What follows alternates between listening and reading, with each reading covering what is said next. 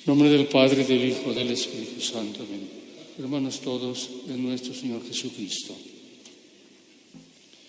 Jesús estaba predicando en Galilea, que era su, provincia preferida, y empezó a, a predicar de una manera distinta hasta entonces. Empezó a predicar con parábolas. Parábolas era fijarse en un hecho de la vida corriente o de la naturaleza para sacar un- una conclusión de tipo religioso, de tipo espiritual, de tipo, diríamos, de tipo de, de santidad. Esto es la parábola. Y el domingo pasado dijo la primera parábola. Hoy dijo la segunda parábola. Es la siguiente. En aquel tiempo dijo Jesús a las turbas esta parábola. Reino de los cielos se, parece a un gran... Se, parece a un hombre que sembró buena simiente en su campo. Y mientras la gente dormía, vino el enemigo suyo y sembró, cugul, cugul, ah, en catalán es cizania, cizania, en medio del- del- del- del trigo, y se fue. Cuando hubo crecido, entonces aparecieron la cizaña y el trigo. Esa cizaña es una planta que abunda mucho en Tierra Santa y es una planta que produce pues mareos, vértigos y vómitos, planta que hace daño a, la salud. Y como cuando es pequeña se parece tanto al trigo que no casi no se puede distinguir. Un poquito más pequeña, pero la espiga es casi igual. Que no la conoce, pues no, no la distingue bien. Un poco más oscura, no, bien. Entonces, los criados fueron al dueño y dijeron, Señor, ¿tú no has sembrado trigo? Sí. Pues ha aparecido la cizaña. Ya, esto lo ha hecho mi enemigo, mi enemigo. ¿Quieres que arranquemos la cizaña? No, no lo arranquéis, porque podéis arrancar también el trigo. Entonces perderíamos todo. Dejad que crezcan la cizaña y el trigo. Cuando venga la época de la siega, yo diría a los segadores, ahora segadlo todo. Y una vez segado, separad el trigo de la cizaña. La cizaña, haced haces y la quemáis al horno, al fuego. Y el trigo, guardarlo en mis graneros. Esta es la parábola. Bien, se fueron y se marcharon a casa, estaban en casa de Pedro, y allí los apóstoles le dijeron, Señor, explícanos eso de la cizaña y del trigo. ¿Qué quiere decir esta, esta parábola? Dijo, sí, lo voy a explicar. El que siembra soy yo, el Hijo del Hombre, soy Dios. Yo siembro, soy el sembrador. Y los campos donde siembro es todo el mundo. Yo siembro en todo el mundo. El trigo son los buenos, los que creen en mí, los que me aman, los que siguen mis mandamientos. Y la cizaña son los malos, los que tienen mala, mala voluntad, los que persiguen, los que no creen en mí, los que persiguen a los buenos. Vendrá un día que será el día de la siega. Este día será el fin del mundo. Entonces mandaré a los ángeles, que son los criados, que hagan venir a todos los hombres, toda la gente. Y allí aparecerán todos los hombres. Y entonces yo diré a la cizaña, a los malos, apartaos de mí, malditos, al fuego eterno. Porque habéis sido malos, habéis hecho el mal, habéis perseguido a los buenos. Y a los buenos de ahora vosotros venid benditos de mi Padre al cielo. Aquellos irán al fuego eterno, donde serán atormentados eternamente. Vosotros serán el cielo donde brillarán más que el sol, serán más felices que nunca. Esa es la parábola. ¿Ah? Se entiende perfectamente. No hace falta mucha explicación. Vamos ahora a la aplicación, diríamos, de la parábola, tal como han hecho los santos. Cuando dijeron los, criados, Señor, ¿quieres que separemos el trigo y la cizaña? Dijo, no, no lo separéis. Podíais arrancar el trigo. Ahora, la ciencia, que adelanta mucho, ha descubierto que la cizaña, las raíces de la cizaña, debajo tierra, se enredan con las raíces del trigo. Ah, y entonces por eso Jesús dijo, arrancáis el trigo también, porque al arrancar la cizaña se arrastra también el trigo, lo perdemos todo. ¿Veis? La sabiduría de Jesucristo. Jesucristo que es Dios. Entonces no se sabía. Son, son cosas que la ciencia ha descubierto ahora. Tanta razón tenía. Y entonces quiere decir que en esta vida nuestro Señor no arranca a los malos, no destruye a los malos, sino que deja que vivan juntos malos y buenos. ¿Por qué? Vamos a explicarlo. Cuando uno es bautizado en la fe católica, recibe, como enseña Jesús, la fe, la gracia de Dios y los sacramentos. Lo recibe todo en semillas, como semillas que va sembrando en el corazón. Estas semillas se han de desarrollar, se han de desarrollar, han de crecer. Como el cuerpo se va desarrollando y va creciendo, igual, exactamente igual. Y si Dios nuestro Señor quitase todos los malos, entonces no se podían desarrollar las virtudes. ¿Por qué? Dices, ¿por qué? Muy sencillo, muy sencillo. ¿Cómo, por ejemplo, cómo podemos ser humildes si no hay nadie que nos humille? Si no viene nadie que nos humilla, no podríamos ser humildes. ¿Cómo podemos ser bienaventurados en sufrir persecución por Jesús si no hay perseguidores?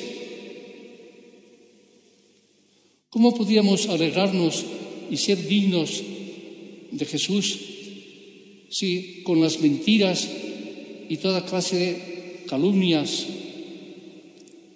no hubiese calumniadores.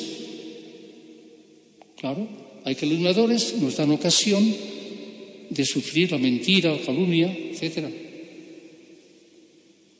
¿Cómo había mártires si no hubieran martirizantes? O sea, personas que nos martirizan. Dime que es verdad todo esto. Estos malos nos ayudan a practicar las virtudes y entonces nuestra alma va creciendo, se va santificando, se va desarrollando, se va uniendo con Dios. Si los malos los quitase Dios de repente, pues nuestra alma no podía crecer, no podía practicar ninguna virtud.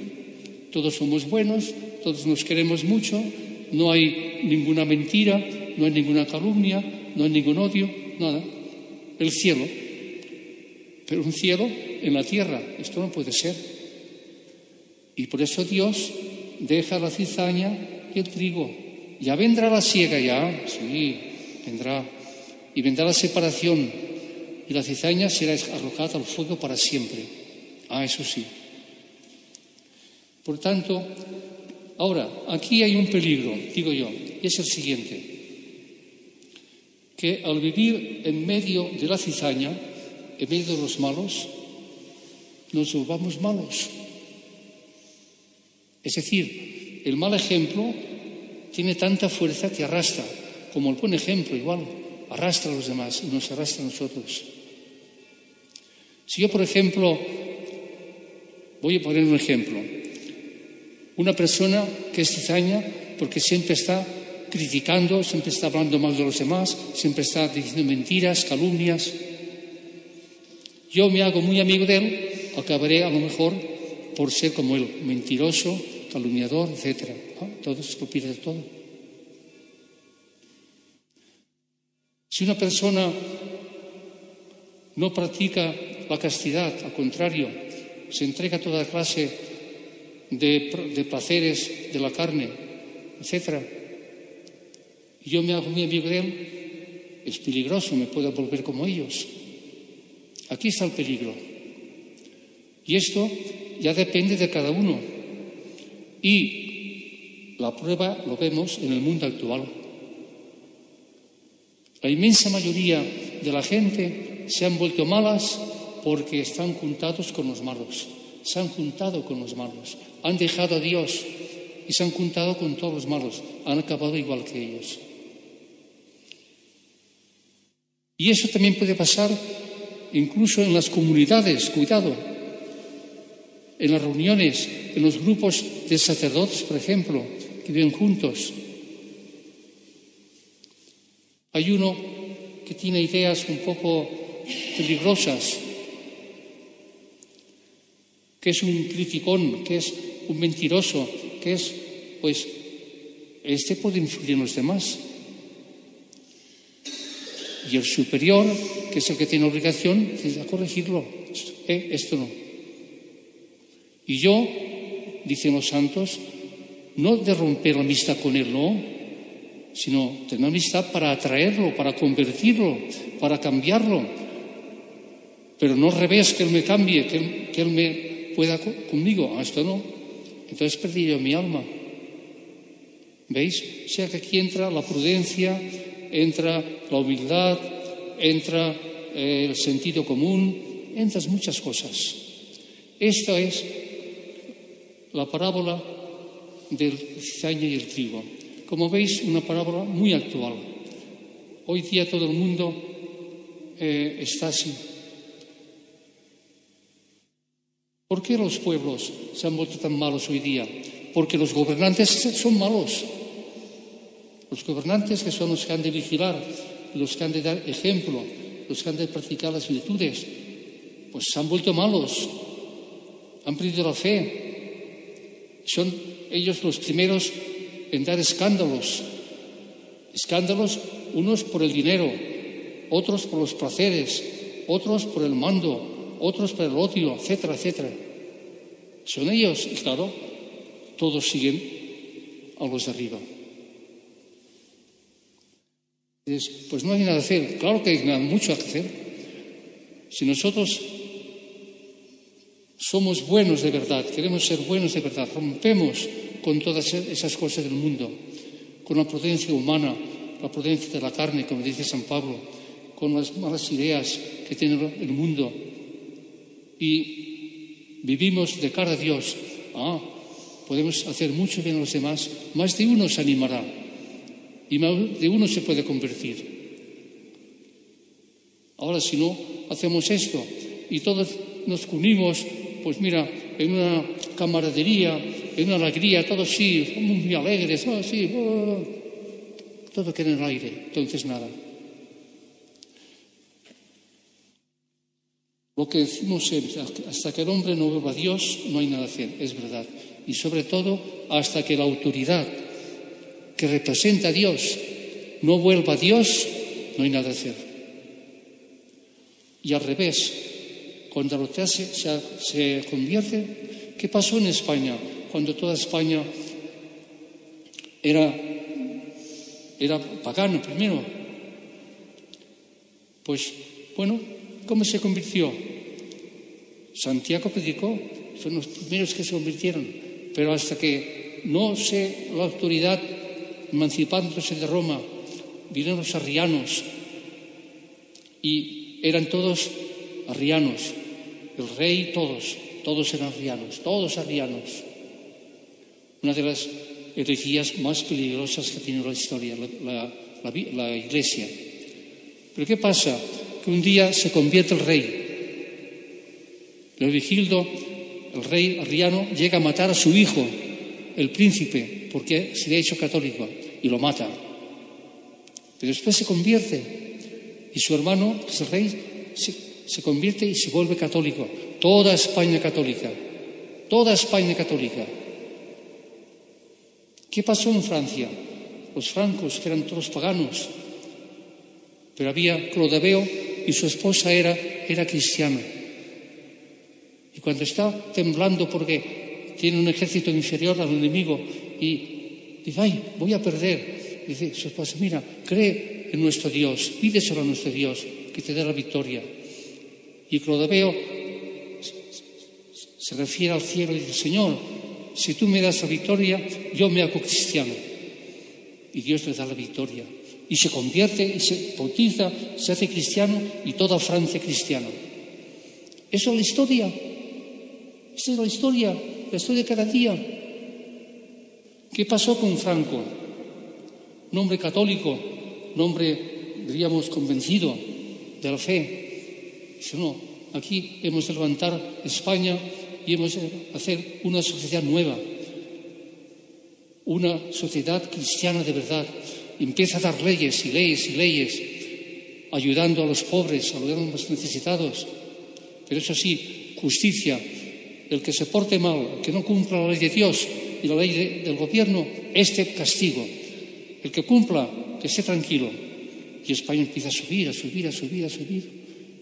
Y España, que era la 30 orden de, diríamos, de orden económico mundial, pasó a ser la séptima, la séptima. ¿Ah? ¿Qué pasa ahora con España? Al revés, todas las autoridades son ateas, todas, todas, todas. Se burlan de Dios, se ríen, no quieren saber nada de Dios. ¿Cómo está España? ¿Cómo está el pueblo? Pues ya está. ¿Veis? Eso es la historia. ¿Cuánto enseña la historia? Bien. Y por último, quiero decir otra idea, ya la sabéis. La Virgen Santísima le tocó vivir en la época así, en que las autoridades eran malas, los fariseos, los escribas, eran, diríamos, fariseos, es decir, falsos, que aparentaban una cosa y por dentro estaban llenos de pecados, de rapiña, de, odio, etc. Jesús les había dicho, sois sepulcros blanqueados, por fuera muy bonitos, todo blanqueado, por dentro llenos de rapiña, llenos de odio, llenos de inmoralidad, llenos de falsedad. Y la Virgen Santísima le tocó vivir así. Ella no iba a predicar porque Dios no le, no le no se lo pidió que predicase, ella predicó su hijo. Pero ella con su oración, con su penitencia, con su fidelidad a la ley de Dios, a la ley de Dios, que es la ley, la voluntad de Dios, cómo cumplió todas las leyes de Moisés al pie de la letra, desde que nace Jesús, después la circuncisión, después la presentación del niño Jesús en el templo, la huida a Egipto, siempre cumpliendo la voluntad de Dios. Y entonces Dios lo bendice. Entonces dice la Virgen, ha hecho maravillas Dios en mí, claro, maravillas como ninguna criatura. Todas me llevarán bienaventurada y todas las generaciones llaman bienaventurada y dichosa a la Virgen Santísima. ¿Lo veis? La historia, la historia. Los santos lo mismo, así todo. Animémonos, pues, amadísimos, a seguir este camino. No tengamos miedo. Que la gente se burlan, que se ríen, se ríen. Dejémoslos estar, que se rían, que se burlan, que lo que quieran. Mejor, dices, mira, ahora practico la humildad, la paciencia, la caridad. Claro. Y así voy ganando, voy ganando méritos para el cielo. Voy creciendo, voy creciendo muy arriba. Es verdad. Eso lo tendremos seguro el día del juicio.